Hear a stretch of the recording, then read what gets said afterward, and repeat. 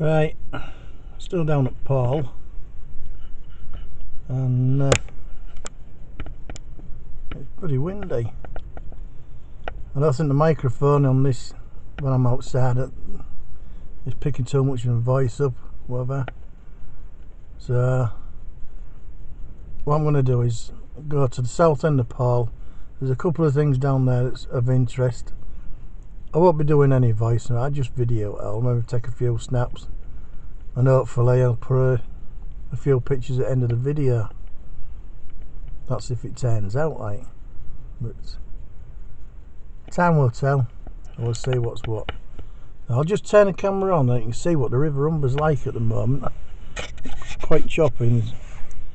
There's a ship just gone up there with a tug at the back of it trying to slow it down and control it in the wind. Because when the wind's got some at that size you just haven't got a lot of control over them so I'll just turn camera around and then you can have a look and see what it's like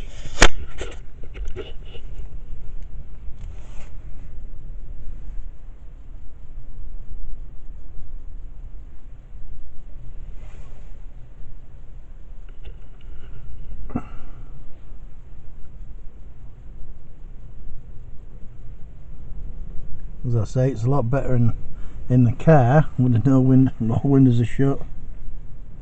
That over in the distance you can see Siemens plant.